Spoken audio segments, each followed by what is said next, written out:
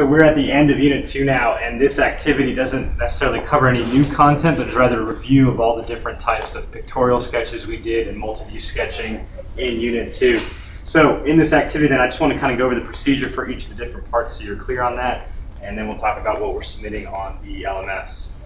So starting with the first couple of these, what they're giving you is they're calling basically like the, the CubeNet that we use to do the glass box. The idea is to take this object, if I were to uh, kind of cut that object out and fold it up, I could make an enclosed three-dimensional object. So your goal, and your task, is to draw what that would look like as an isometric. So we'll use isometric graph paper to draw what this would look like as an enclosed three-dimensional object.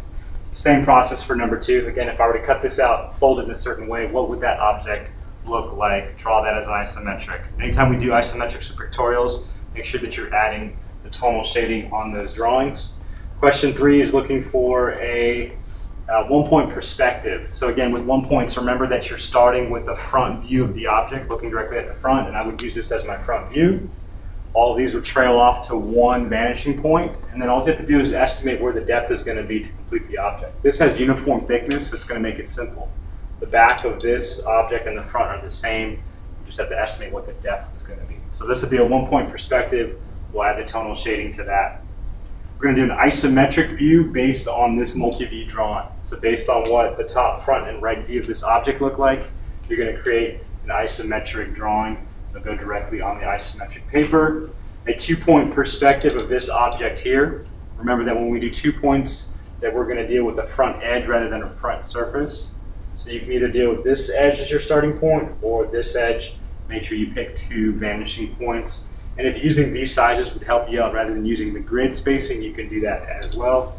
And then finally, another kind of pattern, if I were to cut this out, fold it together, what kind of shape would that make? Again, this will be drawn as an isometric and we'll add the tonal shading.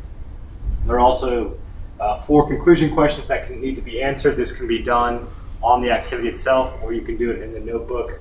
All of the work is going to have to be added to the notebook. So if you're using the isometric paper, make sure we're cutting make sure we're adding that to the notebook before we submit these to the LMS. We're going to work on this today, uh, tomorrow, and probably on Friday.